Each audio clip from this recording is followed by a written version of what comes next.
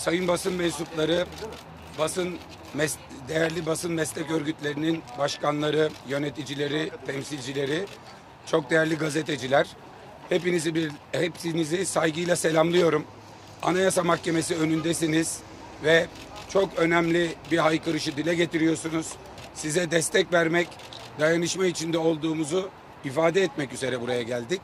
Kamuoyunda iktidarın dezenformasyon yasası diye konuşturduğu ancak doğrudan sansür yasası olan gerçek bilginin yayılmasına yalan bilginin yayılmasına engel olma yasası diye masumlaştırılmaya çalışılan bir yasanın iptalini istedik Cumhuriyet Halk Partisi olarak ve iptalin altında imzası olan milletvekillerinden biri sıfatıyla da Cumhuriyet Halk Partisi'nin genel başkanı sıfatıyla da Anayasa Mahkemesi'ne bu tarihi sorumluluğunu hatırlatıyoruz.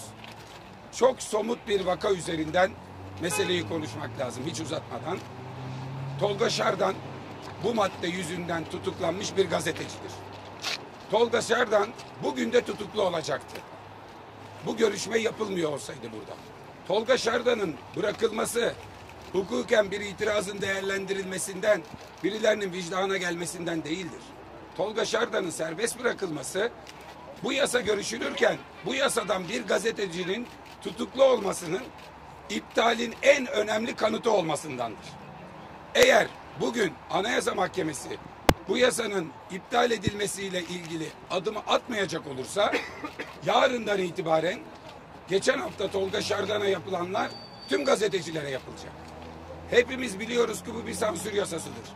Bu gerçek dışı bilginin yayılmasına engel olmak için işleyecek bir yasa olsaydı Türkiye şu anda dünyanın en büyük dezenformasyon cennetlerinden biri olmazdı. Seçim yaşadık. Atatürk'ün kurduğu Türkiye'yi kurtaran ve kuran partiye terör örgütüyle işbirliği yaftası yapıştırıp bunu yaydılar. Bu yasa buna engel olmadı. Tolga Şardan gazetecilik yaptı, hapsi boyladı. Bundan sonra olacaklar bundan ibarettir. Anayasa Mahkemesi'ne alacağı kararla ilgili bir şey söylemeye gerek yok.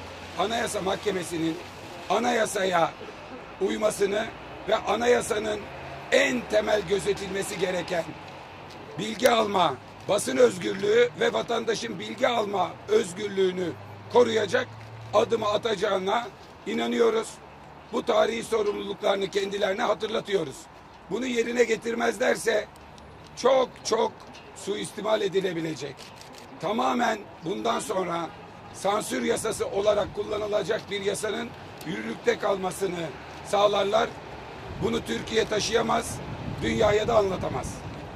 Ayrıca bundan sonraki süreçle ilgili de Anayasa Mahkemesi'nin bu tip toplumsal önemi çok yüksek olan, tüm toplumu ilgilendiren ve basın özgürlüğü gibi mesele gibi hayati meselelerle ve benzer hak ihlallerinde, kısıtlamalarda mutlaka çok daha hızlı gündemine alması ve çok daha önem atfederek görüşmeler yapması gerekmektedir. Bununla ilgili bir yasal düzenleme ihtiyacı varsa biz bu konuyu Anayasa Mahkememizi Sayın Başkanından, yöneticilerinden, genel sekreterinden dinlemeye, bu konuyla ilgili yapılacak yasal düzenleme noktasında destek vermeye de hazırız. Böylesine önemli konuların bekleyecek bir günü yok. Gazeteci Tolga Şardan halen hapiste olabilirdi ama bu görüşme bir ay önce yapılsaydı geçen hafta yaşanan hem gözaltı hem tutukluluk süreci sizin yaşadıklarınız diğer gazetecilere yapılan baskılar olmamış olurdu. Ben en iyi kararın en doğru kararın verileceğine inanıyorum. Anayasa Mahkemesi'deki yargıçların kim tarafından atandığına, hangi dönemde atandığına bakılmaksızın onların vicdanlarıyla karar vereceklerine yürekten inanıyorum. Teşekkür ediyorum.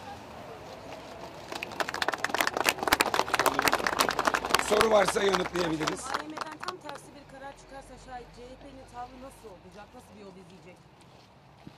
Ben tam ters bir karar ihtimalini burada tartışmanın bence AYM'nin vereceği kararla ilgili ve e, iptal etmeme ihtimalini konuşmanın şu aşamada yanlış olduğunu düşünüyorum. Öyle bir şey olacak olursa Türkiye'yi bütün dünyada zora sokarlar. Türkiye'de gazetecilik mesleğini bitme noktasına getirirler. Ve böyle bir kara lekeyi taşımak istemeyeceklerini düşünüyorum.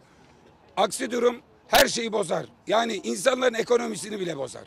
Basın özgürlüğünün olmadığı gazetecilerin hapse tıkıldıkları bir ülkeye öyle çok bekledikleri ne yabancı sermaye gelir ne Türkiye'nin güven endeksi yükselir. Hiçbir şey olmaz. Burada verilecek karar son derece kritiktir. Hepimiz için önemlidir. Aksini düşünmüyoruz. Aksinin olması durumunda bunu olağanüstü şekilde değerlendiririz. Olağan olan buradan hukuka uygun, anayasa uygun bir karar çıkmasıdır. Çok teşekkür ediyoruz arkadaşlar. Sağ olun. Sayın Başkanım görüşmek üzere.